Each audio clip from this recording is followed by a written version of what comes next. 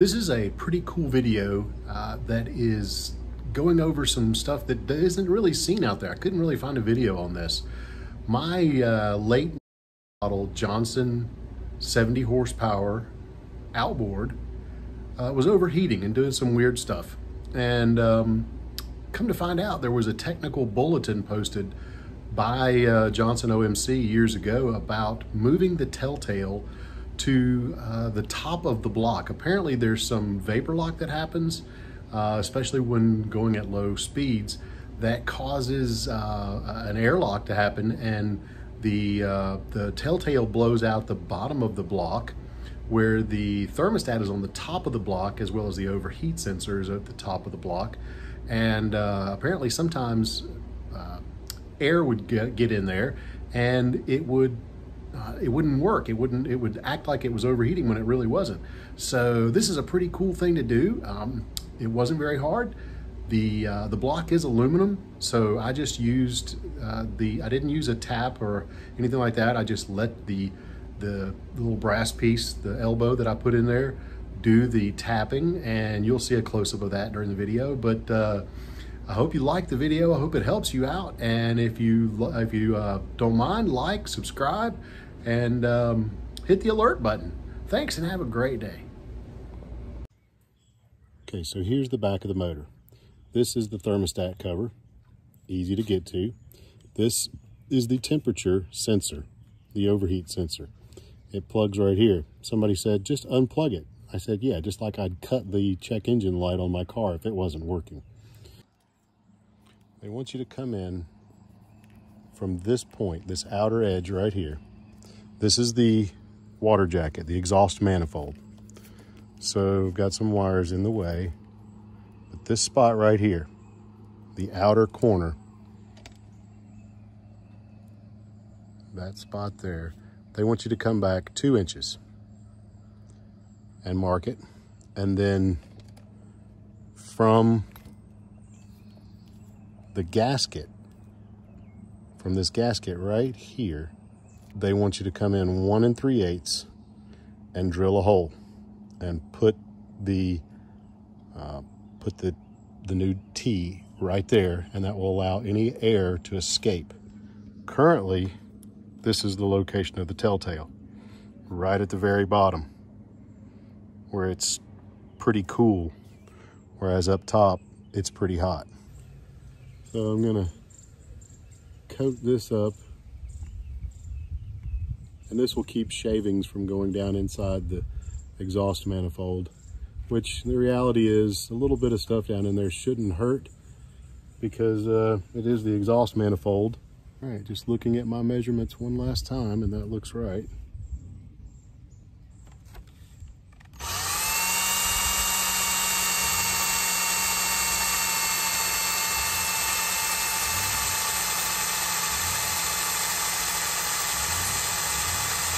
Nice and slow.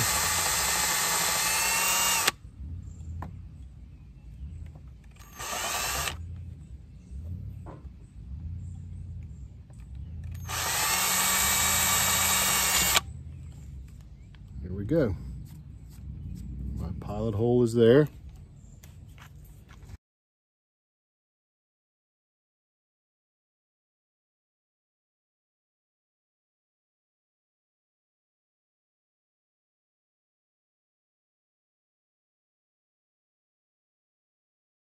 I don't believe I have the hole quite big enough to allow this to tap the threads.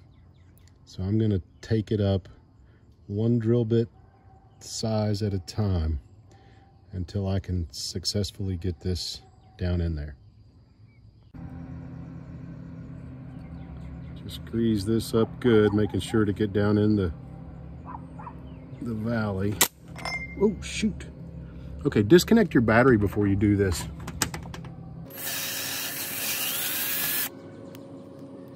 to block off my old telltale.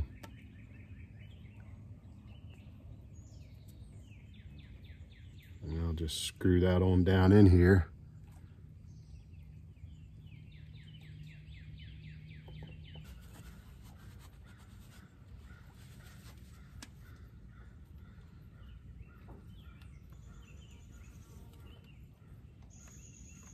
I'm gonna have to move this camera to get down in here and work. Now that feels like it's gonna bite. Yeah, that's gonna bite. So I'm gonna have to move this camera so that I can get the get to it.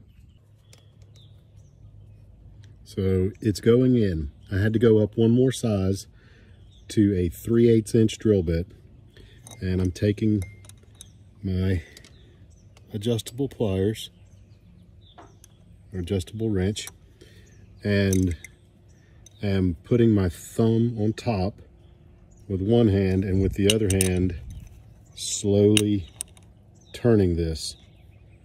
Now once I get these threads started, I'm gonna back this out and go ahead and put this Teflon tape on here to keep it from hopefully leaking. If that doesn't work, uh, it'll be threaded and I'll be able to put some JB Weld or high temp JB Weld on there. And um, with any luck, we'll be in good shape here shortly. So I went ahead and removed this so I could uh, put some Teflon tape on there and you can see the depth of the hole and how it's cutting its own threads right now. So I'm gonna put some Teflon tape on here, run the hose on it and splash this girl back in the water. Teflon tape, just a couple of passes with it and pulled it really tight. You can see how it's inside the threads already. So it should just go on in. So I only, I didn't go all the way in with it. It is firmly in place. I will probably go one more round. Um, I did take this and go ahead and run that all the way in. I'll put a tie wrap around that. I bought five feet of tube to uh, to go from here out back to where the original came out, which is right here. So I only needed about, I don't know, 18 inches of it. But I'll go ahead and give one more turn.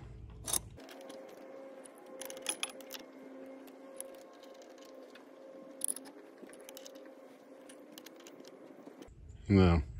Next thing is just put the hose on, put a piece of tie wrap on there, and then run it through down to the port and uh, put it back in the water and see what happens.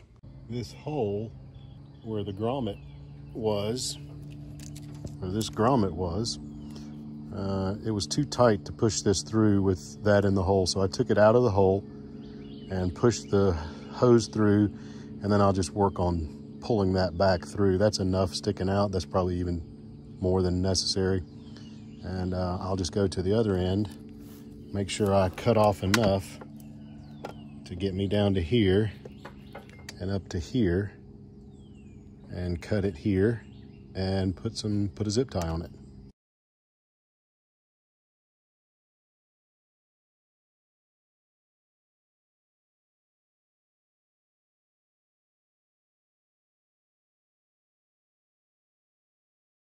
Good as new.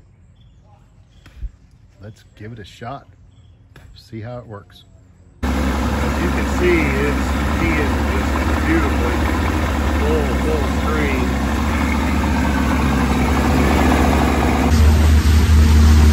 So I've been out running it for about 20 minutes at 5,000 plus RPM and uh, it hasn't done anything yet, knock wood. It's running good.